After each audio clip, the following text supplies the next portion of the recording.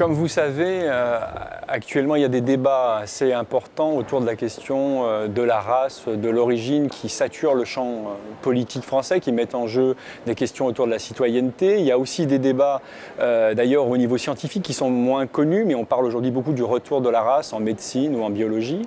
Et mon souci principal, c'était de prendre de la distance historique et d'essayer de comprendre un peu d'où venait cette catégorie de race, quelle était son histoire euh, euh, en partant sur le temps long, c'est-à-dire à partir euh, du 16e, 17e siècle, en essayant de repérer les différents usages que la notion de race avait pu avoir dans des champs très différents. Ça peut être du côté de la noblesse, du côté de l'élevage, de tout un ensemble de champs, et surtout de comprendre comment à partir du 18e siècle, elle rentre en histoire naturelle, dans ce qui sera ensuite l'histoire naturelle de l'homme et l'anthropologie, pour penser des différences à l'intérieur de l'espèce humaine, des hiérarchies à l'intérieur de l'espèce humaine, et comment elle rentre aussi dans le champ politique pour analyser les sociétés politiques, ce qu'on retrouve euh, aujourd'hui de manière extrêmement forte. Euh, donc voilà, à un certain niveau, premier niveau, si on veut, euh, ce travail, c'est un travail qui vise à faire une histoire comme ça de la notion de race et de ses inscriptions dans des systèmes de domination, des systèmes de pouvoir.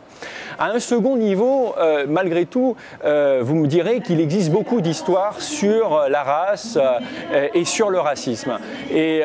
l'objectif du livre, c'est aussi de prendre un peu de distance critique par rapport aux histoires habituelles sur cette question-là, parce qu'elle se focalise sur la question de l'altérité et de différence radicale. L'idée, c'est de dire que la race, c'est l'autre absolu. Euh, et le racisme vise à exclure cet autre, etc. Ce que j'ai essayé de montrer, c'est que cette position, qui est vraie en partie, occulte en même temps tout un ensemble d'autres dispositifs de domination sur la race et tout un ensemble de savoirs sur la race qui pensent la race non pas du tout comme une différence absolue, mais comme ce que j'ai appelé une altération, c'est-à-dire un écart, une déviation par rapport à une identité d'origine, soit sous la forme d'une quasi-pathologie, d'un écart par rapport à une, identité d'origine comme ça, soit sous la forme d'une fixation, d'un archaïsme dans le développement d'une identité. Ce qui a des effets à la fois au niveau des savoirs, c'est-à-dire qu'il y a des savoirs particuliers sur la race pensée comme ça, et aussi au niveau des mécanismes de pouvoir, parce que cette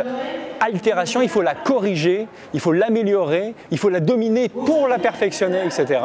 Donc à un autre niveau, mon histoire, elle se concentre sur ça, c'est pour ça qu'elle s'appelle l'homme altéré, parce qu'on pense les races comme des altérations, si vous voulez, de l'homme, de l'humanité. Donc c'est aussi un moyen de comprendre mieux les liens intime qui existe entre un certain universalisme, un certain humanisme et les discours raciaux et des dispositifs euh, politiques visant euh, la race. Alors il me semble qu'il y a une chose qui est très importante et que j'ai mis en avant, euh, c'est le rôle méconnu du libéralisme euh, et du républicanisme, et surtout du libéralisme au début du 19e siècle, pour euh, faire rentrer la notion de race et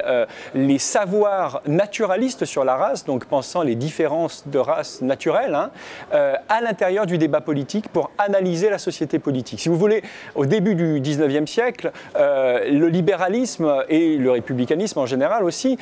considère que l'égalité de droit n'empêche pas des inégalités en termes d'aptitude naturelle, de capacité naturelle. Et à ce moment-là, la notion de race va être investie par ces auteurs pour penser ces différents niveaux de capacité naturelle, euh, d'inégalité naturelle, qu'on peut ensuite essayer d'ailleurs de travailler, d'améliorer, euh, etc. De la même manière, euh, ces auteurs sont obsédés par la question de la liberté comme nature de l'homme, la réalisation de la liberté comme nature de l'homme. Et les différentes races ont été lues comme des obstacles plus ou moins importants dans cette réalisation de la liberté. Et par exemple, la lutte des races, qui va servir à analyser euh, la société euh, chez ces auteurs-là, est perçue comme euh, une des raisons des blocages au niveau du déploiement de la liberté. Alors vous voyez bien les échos que cela peut avoir avec un certain nombre de questions contemporaines autour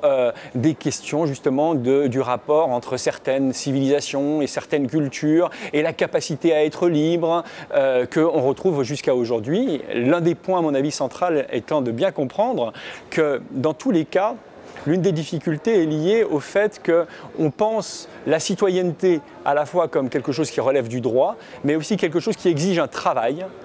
on, devient citoyen et que dans ce travail, on va objectiver tout un ensemble de résistances, de blocages qui vont in fine être codés comme des obstacles presque justifiant le rejet de certaines personnes. Et ça, pour moi, c'est très important de comprendre cette question, y compris pour l'actualité, puisque, à mon avis, nous sommes un peu dans une situation euh, similaire sur cet aspect-là.